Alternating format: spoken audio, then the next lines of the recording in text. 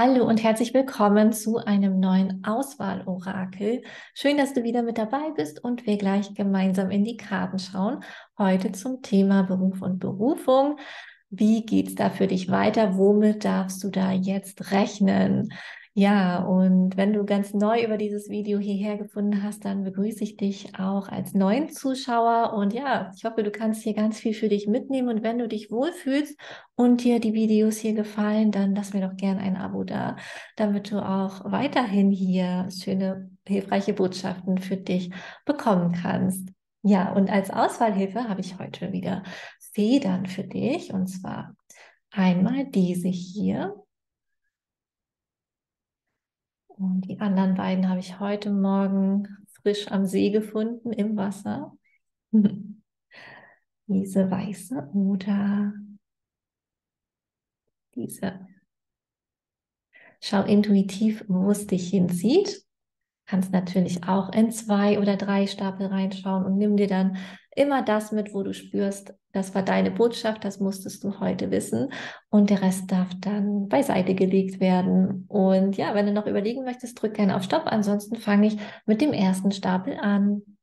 Hallo an dich, wenn du Stapel 1 gewählt hast und wir schauen mal, welche Botschaften für deine berufliche Situation hier heute zu dir kommen und was da in der nächsten Zeit auf dich zukommen möchte. Und wir gucken mal, was die Lenormand-Karten sagen. Da kommt schon mal die Sense und der Hund. Hm. Und mit der Sense kann ja ähm, etwas ja ganz plötzlich, ganz unerwartet passieren. Ähm, und es besteht aber auch Verletzungsgefahr. Und ähm, der Hund ja gleichzeitig steht für Unterstützung, Treue, Geselligkeit. Ähm, somit ja, im beruflichen Bereich darfst du mit Konfliktsituationen rechnen oder musst du äh, mit Konfliktsituationen rechnen. Also hier kann sein, dass im, ne, im äh, Miteinander, wo es vielleicht bisher recht freundschaftlich zuging, dass da ja wie Streit auf einmal kommt oder Konflikte einfach entstehen, dass da vielleicht auf einmal irgendjemand irgendwas sagt oder tut, ähm, womit du gar nicht rechnest und was du gar nicht erwartest und wo ähm, ja, wo es dann einfach gar nicht so sehr freundschaftlich ähm, zugeht. Genau, also das ist einfach nur etwas, was geschehen könnte, wo du dann einfach ähm, Augen und Ohren offen hältst und ähm, bereit bist, vielleicht gewappnet bist auf das, ja, einfach etwas äh, Unerwartetes, Unschönes passieren könnte, also Stress einfach kommt, ne, im Miteinander. Ja, dann schauen wir mal auf die Seelenforscherkarten. Da kommt der Schiffbruch und das Universum. Und das Universum sagt ja, es gibt einen höheren Plan und der Schiffbruch, ähm, das Schicksal führt dich an neue Orte. Und ja, somit kann das für dich hier eine wirklich eine so ähm, herausfordernde Situation sein oder so mh, mm, dich so vom Hocker reißen quasi, weil du vielleicht gar nicht das erwartet hast, dass auf einmal so, dass die Stimmung kippt, so möchte ich das mal sagen. Ne? Also vielleicht war alles bisher so ganz friedlich, man ist gut miteinander ausgekommen, so alles war harmonisch, freundschaftlich, so auf einmal, ja, wie als wenn da einer eben reingrätscht oder ne, das Ganze irgendwie aufgewühlt wird und auf einmal, ähm, ja, wie so ein Fuchs, der in so einen Hühnerstall äh, reinläuft und äh, alles aufscheucht. Irgendwie, und es kann sein, dass du dich damit dann überhaupt nicht wohlfühlst und ähm, das so unangenehm für dich ist, ähm, dass du dich gezwungen siehst, die Situation ähm, verlassen zu wollen. Ne? Also vielleicht hast du dann bis dahin noch gedacht, ja, mm, das, ich kann mir vorstellen, hier zu bleiben, ich fühle mich hier wohl, alles schick und so. Und dann kommt aber eben eine Situation, ne, die du gar nicht äh, gut findest, mit der du gar nicht irgendwie umzugehen weißt oder wo du einfach merkst, boah, okay, wenn das jetzt so bleibt, dann möchte ich das hier nicht mehr. Ne? Also ich könnte mir vorstellen, da kommt vielleicht einfach jemand ins Team oder so und ähm, bringt einfach Unruhe rein oder bringt eine ganz andere Energie rein und also nichts Kollegiales, sondern vielleicht ähm, was so gegeneinander aufstachelnd ist oder jemand, der vielleicht viel lästert oder ne, was auch immer, sowas eben. Und wo du dann merkst, oh nee, das geht für mich irgendwie nicht. Ich mag diese Atmosphäre, diese Stimmung so nicht. Ähm, ja, und dass das für dich dann ein Grund ist zu gehen. möglicherweise. Ne? Oder eben etwas zu verändern oder die Abteilung zu wechseln oder was auch immer. Und somit kann das aber eben dann vom Schicksal ähm, bestimmt sein, dass du vielleicht dort bleiben wolltest und dich das Schicksal aber dazu bringt, weiterzugehen, weiterzuziehen, eben aufgrund dieser Erfahrung dann. Ne?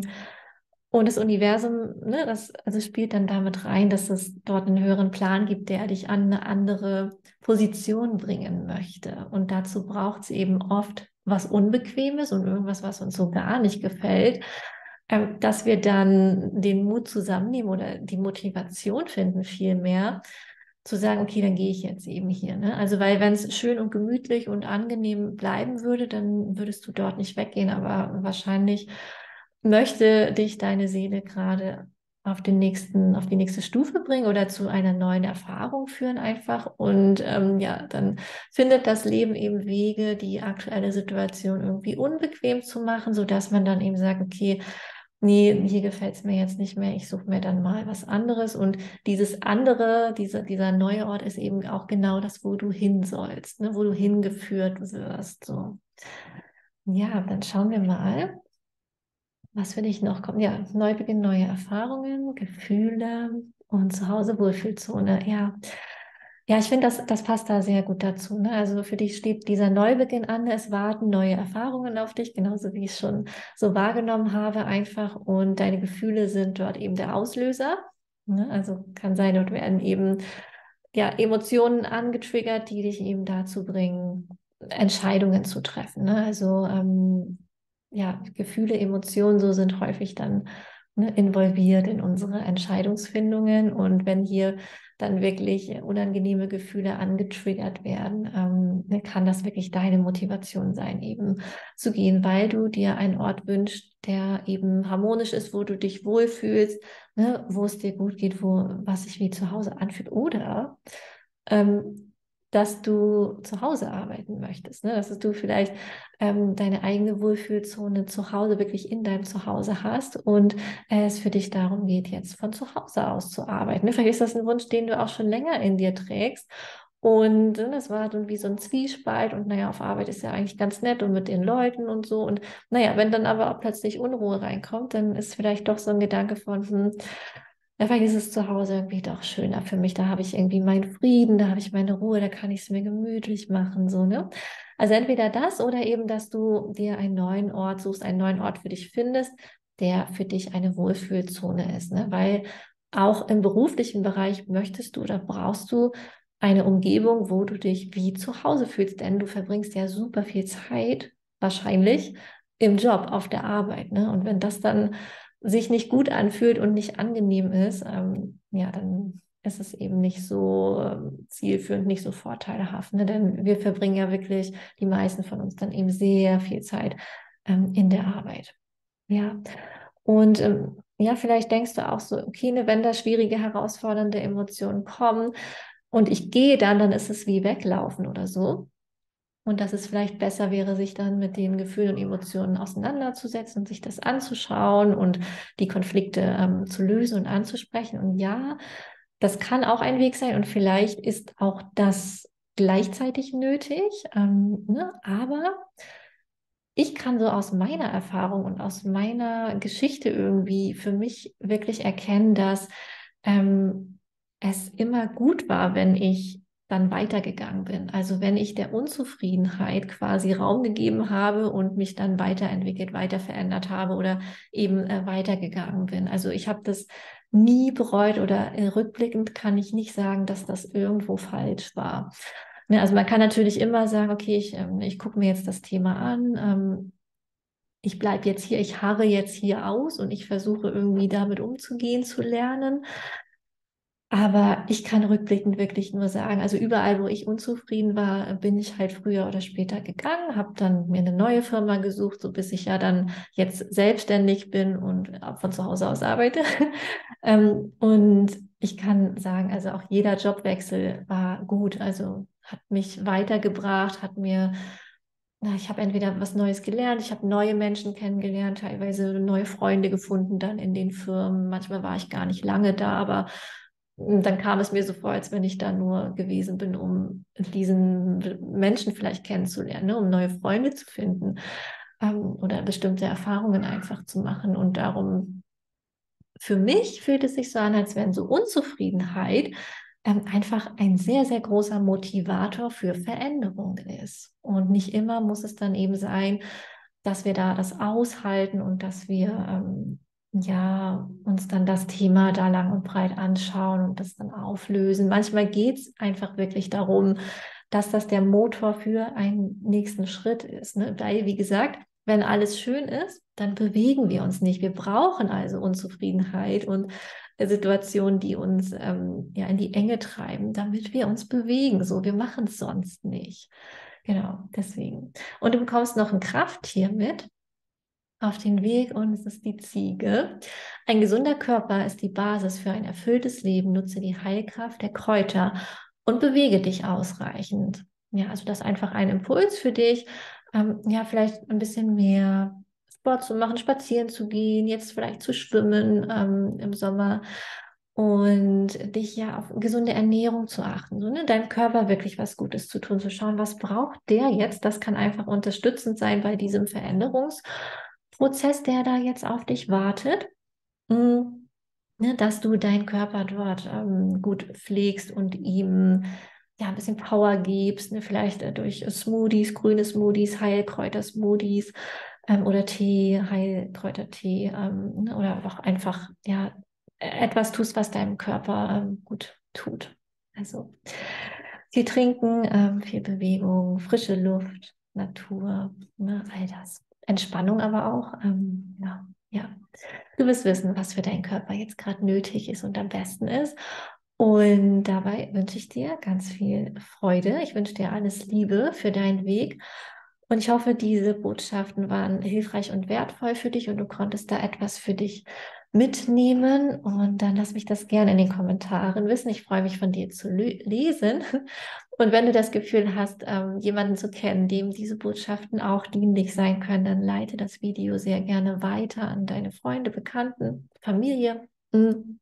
Genau, und wenn du noch kein Abonnent bist, aber du hier eben viel für dich mitnehmen konntest und weitere Botschaften gerne bekommen möchtest, dann vergiss nicht, den Abonnieren-Button zu klicken. Und falls du irgendwie mit mir zusammenarbeiten möchtest, ähm, dann melde dich auch dort super gern. Schau mal auf meiner Webseite vorbei. Mein Thema ist Beruf und Berufung, dich in eine erfüllte, entspannte berufliche Situation zu bringen, also ein Berufs Leben zu kreieren, ja, wo du wirklich Erfüllung findest, wo du entspannt und gelassen arbeiten und wirken kannst. Ähm, ja, einfach freudvoll, ohne Stress, ohne Hektik. Genau. Ja, schau da mal in meine Angebote rein und dann wünsche ich dir alles Liebe. Hoffe, wir sehen uns hier in den nächsten Videos wieder und ich mache weiter mit dem zweiten Stapel. Hallo und dich, wenn du Stapel 2 gewählt hast und wir schauen, was beruflich jetzt auf dich zukommt, ähm, womit du dort rechnen darfst. Und wir schauen mal, ins Lenormand. Da kommt der Park und der Ring. Somit geht es beruflich für dich jetzt darum, rauszugehen und dich zu zeigen. Du bist bereit für die Bühne. Und vielleicht zögerst du dort schon eine Weile mit Sichtbarkeit, hast irgendwie ja ein Thema einfach Struggle, ähm, damit dich zu zeigen, mit etwas rauszugehen, ne? dich zu öffnen oder in der Öffentlichkeit auch zu zeigen. Ne? Vielleicht mit deiner Berufung oder mit, mit deinem, vielleicht ist es noch ein Hobby äh, im künstlerischen Bereich oder einfach im, in, in deinem Wirken. Ne? Und jetzt ist es Zeit, rauszugehen und es öffentlich zu machen. Vielleicht arbeitest du auch noch nebenbei so ein bisschen im Geheimen irgendwie, ne? Und dann äh, wäre jetzt der Moment, ähm, ja, das ein bisschen größer zu machen, ein bisschen auszubauen. Also hier gibt es etwas, was jetzt ähm, ja bereit ist für die größere Bühne. Ja, du bist bereit, wirklich rauszugehen, dich zu zeigen. Und somit ja endet oder beginnt hier auch ein neuer Zyklus für dich. Und die Frage an dich, ob du Ja zum Leben sagst ähm, ob du wirklich ja, das Leben auch so lebst, wie du es dir wünschst, wie du es gerne hättest oder ob du dich mehr vom Leben leben lässt. Also sprich einfach nur reagierst so auf das, was sich so zeigt, aber nicht selber hm, ja mitwirkst sozusagen. Ne? Also erkennst du die Möglichkeiten, die dein Leben dir bietet und nutzt du die oder hältst du dich eben noch zurück und ja nutzt einfach gar nicht so richtig das Leben für dich, so um zu kreieren, um zu erschaffen, um dich zu verwirklichen. Ja, und ja, ich meine, im beruflichen Bereich liegt auch das Thema Vertrag eben, ne?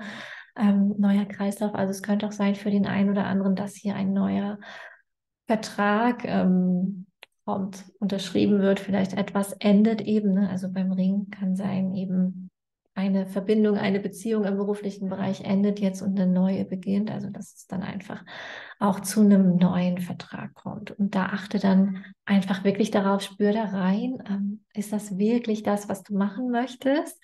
Ja, sag da wirklich dein Herz ja oder unterschreibst du vielleicht einen Vertrag, weil es sicher ist oder Sicherheit verspricht weil es eine lukrative Stelle ist, weil es eben viel Geld gibt oder ne, sowas oder weil du dann, weil es gut aussieht im Lebenslauf, ne, oder ist das wirklich, was du machen möchtest? Ist es wirklich, dass du ja auch dazu sagst, ja? Ähm, ja, genau. Dann schauen wir mal in die Seelenforscherkarten.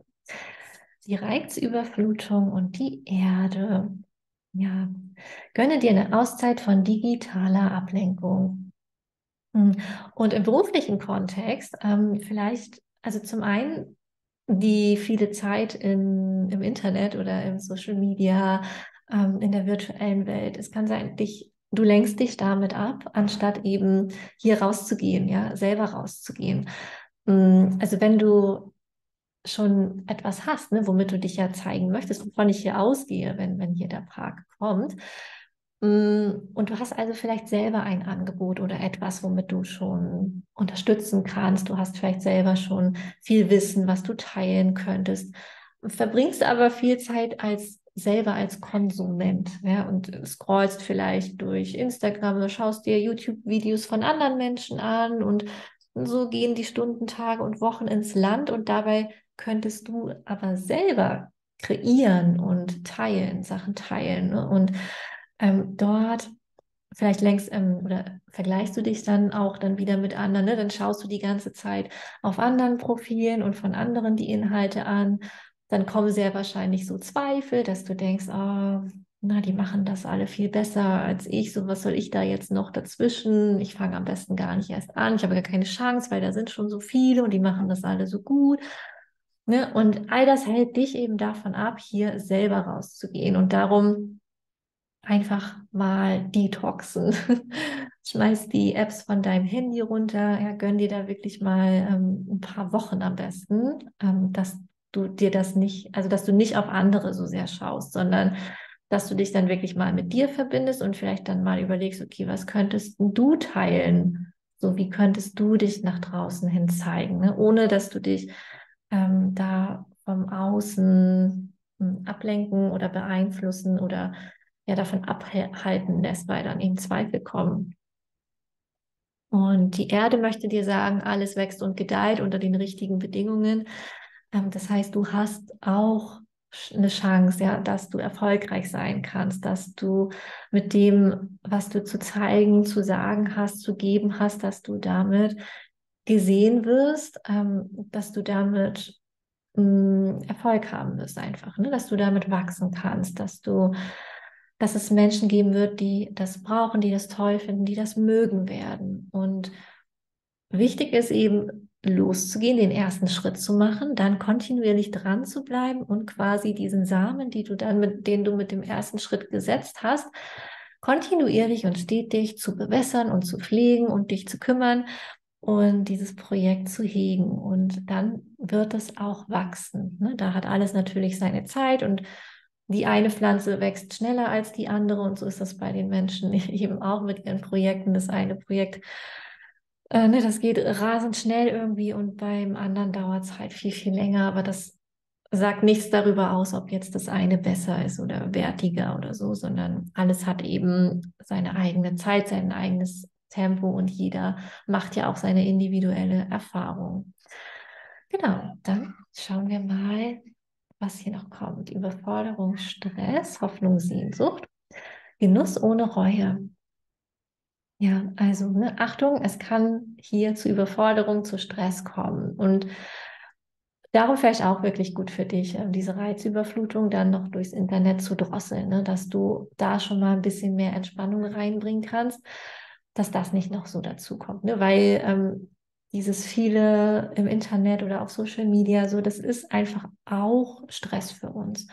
Und es kann auch überfordern eben. Ne? Und darum wirklich distanziere dich davon, vielleicht auch hier, ähm, ne, falls da ein neuer Vertrag kommt, so diese Geschichte, dass das einfach auch Stress bedeutet oder wenn du gerade ähm, eine Arbeitsstelle vielleicht hinter dir lässt, da ist ja meistens dann auch die letzten Tage noch super viel zu tun mit Übergabe oder was weiß ich, so oder im neuen Job anzufangen, dann erstmal da reinzufinden und so. Also es kann hier zu Anstrengungen einfach und zu Stress kommen und dann ne, gönn dir da eben Ruhe, Erholung, Entspannung zwischendurch so gut es geht. Versuch dich selber nicht noch zusätzlich zu stressen. Versuch in dir ruhig und gelassen zu bleiben, ja. Und nimm Verbindung auf zu deinen Hoffnungen, zu deinen Sehnsüchten, zu deinen Träumen. Und erlaube dir, diese Träume zu träumen und zu genießen.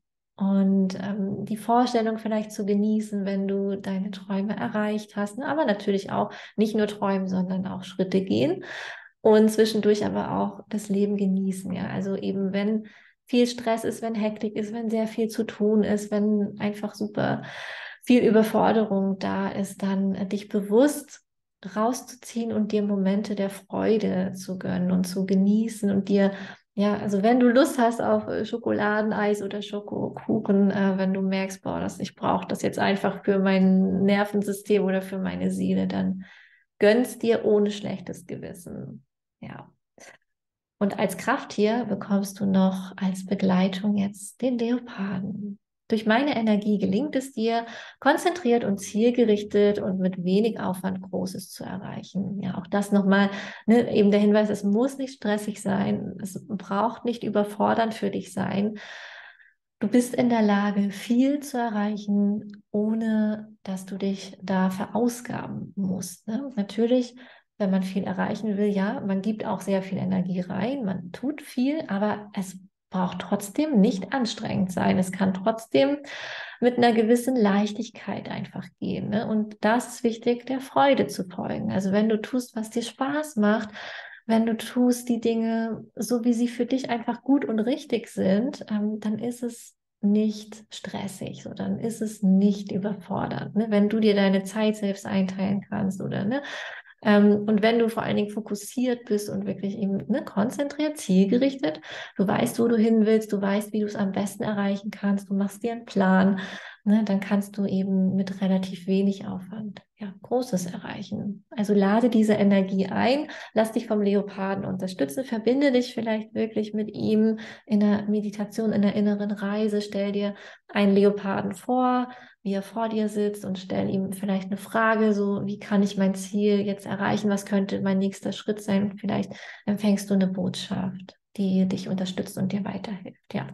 Und ich hoffe, dieses Orakel ähm, hat dich auch unterstützt und dir weitergeholfen. Wenn das so ist, lass mich gerne in den Kommentaren wissen. Ich freue mich von dir zu lesen. Und wenn du Menschen kennst, die von diesen Botschaften auch profitieren können, teile das Video super gerne und lass mir ein Abo da, falls du noch kein Abonnent bist und hier aber gerne weitere Botschaften für dich als Unterstützung auf deinem Seelenweg erhalten möchtest. Ja, das hilft mir natürlich auch, dass der Kanal weiter wachsen kann und dass ich auch noch mehr Menschen erreichen kann.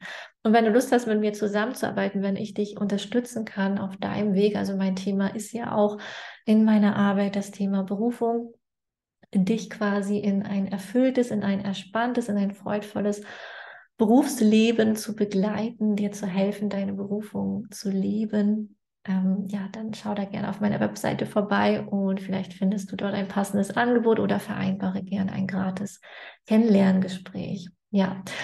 Und dann schicke ich dir ganz liebe Grüße. Ich wünsche dir viel Erfolg auf deinem Weg, viel Glück, äh, Spaß und Freude bei allem, was du tust. Und ich freue mich, wenn du hier wieder reinschaltest beim nächsten Mal. Und ich mache jetzt mit dem dritten Stapel weiter. Hallo an dich, wenn du Stapel 3 gewählt hast. Und wir schauen mal, was da beruflich jetzt auf dich zukommt, womit du rechnen darfst. Und wir gucken in die Lenormand-Karten. Kommt der Storch. Uh.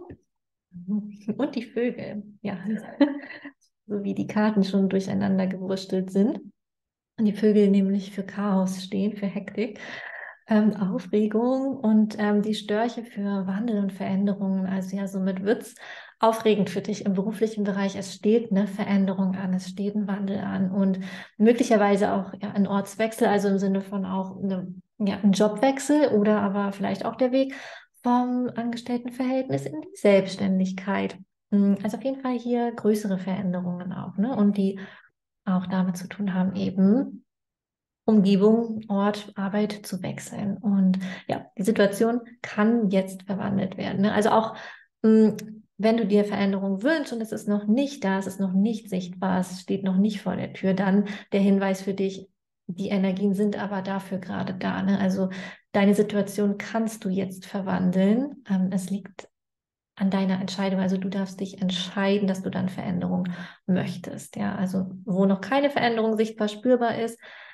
Es kann jetzt aber Veränderung geschehen und ansonsten bei den anderen wird es schon da sein. Ne? Wird es jetzt wirklich ähm, darum gehen, dass hier die Veränderung vollzogen wird. Und das Ganze natürlich kann mit Aufregung verbunden sein, mit Sorgen auch. Ne? Also hm, vielleicht der, das Ungewisse, so ja, wo lande ich da, wie wird es da? wenn ich diese Veränderung jetzt mache, ne, wie wird es vielleicht in dem neuen Job oder wenn ich jetzt in die Selbstständigkeit gehe, wird das klappen? Ähm, ne, wird das, wird das irgendwie alles funktionieren und auch hier ja ähm, viel zu tun haben ne? und dann fokussiert bleiben, konzentriert bleiben. Also erde dich immer wieder, entspanne dich, finde Ruhe und Gelassenheit. Also bleib ruhig in den hektischen Momenten. Ähm, das kann auch zu Wankelmut führen, dass man dann irgendwie so ein bisschen schwankt, so, oh, soll ich wirklich, ist das jetzt wirklich eine gute Idee? Soll ich es vielleicht doch lieber lassen? Bleib bei dir, ja, bleib wirklich fokussiert, erinnere dich immer wieder daran, was ist dein Ziel, warum machst du das, warum willst du die Veränderung, ähm, ne, und bleib da konstant so wirklich. Und ja, es wird bestimmt chaotisch sein, vor allen Dingen am Anfang. Also jeder Neubeginn ist ja einfach schwierig, so. Man muss sich erstmal reinfinden in die neue Situation, sei das jetzt eine neue Firma, aber sei es vielleicht auch richtig selbstständig zu sein, so da muss man sich auch erstmal reinfinden. Das ist einfach was anderes als angestellt zu sein. Und wenn man das noch nie eben war, dann ja, dann kann das am Anfang natürlich auch ein bisschen überfordernd sein, so weil es, es gibt einfach niemanden mehr, der dir sagt, ne, so heute machst du das und das machst du so und so und ähm, ne, sondern ja, man ist da sein eigener äh, Boss, was äh, dann natürlich Vor- und Nachteile hat. So. also, dass man sich da erstmal reinfinden muss, ähm, ja, sich selber die Aufträge sozusagen erteilt und erstmal herausfindet, ja, ne, was, was sind da jetzt alles meine Aufgaben und wie mache ich das am besten und wie mache ich das so, dass es sich für mich gut anfühlt und wie mache ich es so, dass es mich nicht überfordert oder stresst, so wie, ne, weil wahrscheinlich, wenn du in die Selbstständigkeit gehst, möchtest du ja ähm, es ruhiger und entspannter haben als im Angestelltenverhältnis, falls es vorher stressig war.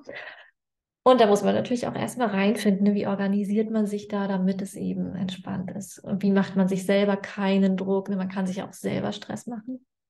Naja, all sowas eben. Dann schauen wir mal, was die Seelenforscherkarten noch sagen. Ja, da kommt der Sommer und die Verspieltheit. Ähm, jetzt ist die Zeit, aktiv Pläne umzusetzen. Ja, das äh, zeigen ja schon die Störche. Ne? Es geht es geht los, es geht in die Veränderung und ja, natürlich jetzt darfst du, sollst du Pläne umsetzen, also all die Ideen, die schon in deinem Kopf herumschwirren. Jetzt steht ja auch tatsächlich der Sommer vor der Tür oder ist jetzt schon da. Ähm, und ich weiß nicht, wie es dir geht, aber ich bin dann selber auch immer viel aktiver, habe ich das Gefühl, als so im Winter. Ich habe auch so viele Ideen gerade, ähm, die ich umsetzen möchte. Tage sind irgendwie gar nicht lang genug, um das irgendwie immer alles zu schaffen, was ich machen will. Und vielleicht geht es dir auch so, ne? Und es ist einfach auch diese Sommerenergie. Und ja, jetzt ist einfach die Zeit dafür, ne? Dadurch, dass die Tage so lang sind, dass wir diese kraftvolle Sonnenwärme haben, sind wir einfach auch energiegeladener und haben viel mehr Energie, um Dinge umzusetzen. Also nutzt diese Energie wirklich, um jetzt auch wirklich ähm, loszugehen und es eben, ja, um zu tun, was getan werden möchte. Und bleib aber dabei verspielt und neugierig und abenteuerlustig. Ja, alles, was du tust, das ist einfach ein Experiment. Also, ja, nimm das Leben, versuch es nicht zu ernst zu sehen. Also auch wenn du denkst, du hättest Fehler gemacht oder vielleicht, wenn du wirklich auf die Nase fällst und irgendwas nicht funktioniert und du scheiterst in Anführungsstrichen, versuch die Perspektive einzunehmen, ähm, dass alles nur, es ist ein Experiment und du machst hier deine Erfahrungen, du probierst dich aus, du schaust eben, okay, was passiert, wenn ich jetzt das mache, was passiert, wenn ich diese Entscheidung treffe, was passiert, wenn ich jetzt diesen Weg gehe und manches funktioniert und manches funktioniert nicht. Und es ist nicht das eine besser als das andere. Ähm, es ist alles einfach nur eine Erfahrung, eben so eine Erfahrung oder eine andere Erfahrung. Und das eine fühlt sich so an und das andere fühlt sich anders an. Und eigentlich geht es nur darum, genau das zu erfahren. Wie fühlt sich das an, die und die Erfahrung zu machen? Und ja, trau dich einfach Sachen auszuprobieren ähm, ohne dass du dir allzu viele Sorgen machst, ja, was ist, wenn es nicht klappt, was ist, wenn ich scheitere, ja, dann, dann ist es so, dann stehst du wieder auf, dann findest du neue Wege, dann geht es weiter, es geht immer weiter, also es kann eigentlich nichts Schlimmes passieren, so, es wird immer irgendwie weitergehen. Dann kommt hier Kreativität, Hobby, Grenzen bewahren und Geld und Finanzen. Hm. Da habe ich den Impuls? Ja, es geht also vielleicht darum, wirklich mit, mit dem Hobby, mit kreativer ähm, Arbeit Geld zu verdienen, ja. Mm. Also dir das vielleicht zu erlauben, mit wirklich mit dem, was dir Spaß und Freude macht, auch Geld zu verdienen, gutes Geld zu verdienen, leicht Geld zu verdienen, ja. Also mm, wenn du vielleicht noch so Überzeugungen hast oder Glaubensmuster aus der Familie, wo es heißt, Geld muss man sich hart erarbeiten, ja, oder Geld verdienen. Das ist nicht leicht, das darf auch nicht Spaß machen, das, das muss harte Arbeit sein. Nur hart verdientes Geld ist ähm, gutes Geld oder ist es wert, dass man das bekommt oder irgendwie sowas, ja.